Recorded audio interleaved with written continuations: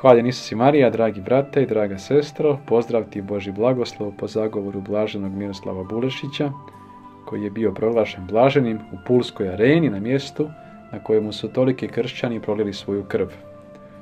I on je prolio svoju krv, a ostao je Kristu vjeran i zaštićen njegovom ljubavlju i istinom. Komunisti su ga zaklali kao mladoga svećenika, a on je izrekao čuvenu rečenicu oprost je moja osveta. Ako opraštamo, tada je zlo pobjeđeno. Mi ostajemo u istini, u postojanju, zaštićeni ljubavlju i oprost u istinu postaje naša osveta. Pod navodnicima osveta, koja potiče te mrzitelje na obraćenje. Oprost svjedoči o snazi koju Bog daje svojim mučenicima i svecima. Mi možemo istu logiku primijeniti na puno jednostavnije životne situacije, kada nas neko ponižava, proganja, vrijeđa zbog naše vjere, mi možemo ostati mirni, radosni i u ljubavi i reći toj osobi da ju praštamo, da joj želimo dobro i da ne želimo prihvatiti taj otrov koji nam šalje.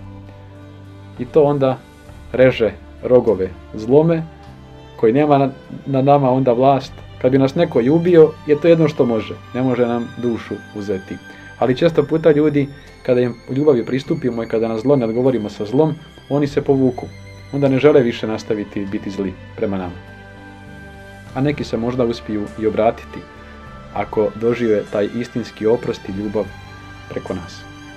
Pa neka nam pomogne blaženi Miroslav Bulešić da možemo oprostiti uvijek iznova razne životne situacije, kontekste koje nam se događaju, gdje nas neko malo vrijeđa, e, čini probleme na ne znam koji sve način. Ako praštamo, mi ćemo izrasti u svim tim situacijama i biti još jači u ljubavi i blagoslovu. Svako ti dobro, po zagovoru blaženog Miroslava Bulešića i svih svetaca. Oprosti u svakoj situaciji koja ti se dogodi.